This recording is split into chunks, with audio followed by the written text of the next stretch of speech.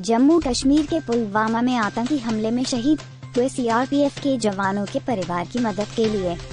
जनपद के कस्बा टेंटी गाँव में युवाओं ने शहीदों की श्रद्धांजलि के रूप में कस्बे में रैली निकाल कस्बा।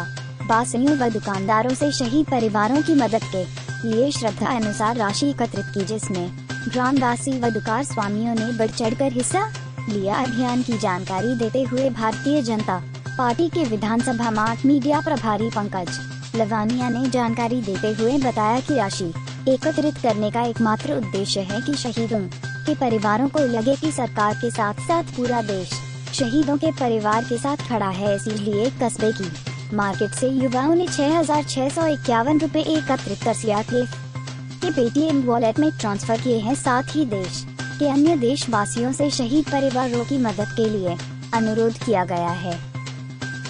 सर, जो अभी आप कर रहे थे, जो रैली निकाली थी, मुझे लगता है कुछ दान पेटी भी थी आपके पास। वो किस उद्देश्य से की थी और क्या कर रहे थे आप? जरा बताइएगा।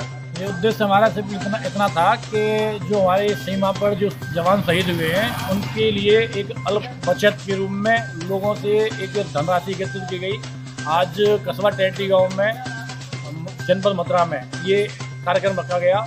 दुकान दुकान जाकर के एक जो जिसकी श्रद्धा थी दुकानदारों ने, ग्रामीणों ने सहयोग किया और टोटल जो राशि ऊपर के आई थी, वो आई थी छिहत्तर सौ इक्यावन रुपये वो हमने सी आर पी एफ़ के वॉलेट में, जो पी टी में वॉलेट वो दिया हुआ है अकाउंट उसमें हमने ट्रांसफ़र किया है। और उनका केवल मेन उद्देश्य यही है कि शहीदों के लिए हर व्यक्ति, हर नागरिक को आगे, आकर के बढ़ चढ़ के हिस्सा लेना चाहिए, जिससे कि शहीद शहीद परिवारों को लगे कि उनके बच्चे शहीद हुए हैं मगर उन देश उनके साथ है और जो हमारे सैनिक हैं उन्हें भी लगे कि हम हम जो देश जिस देश की सेवा करते हैं जिस देश की रक्षा करते हैं उस देश के लोग हमारे जाने के बाद हमारे शहीद होने के बाद हमारे परिवार के साथ खड़े हैं। इसलिए हमने ये अभियान चलाया और सभी से अनुरोध करते हैं हाथ जोड़ के अनुरोध करते हैं कि सभी लोग अपने अपने जगह अपने अपने गाँव में ये अभियान चलाएँ और सेना की मदद करें। जय जय भारत।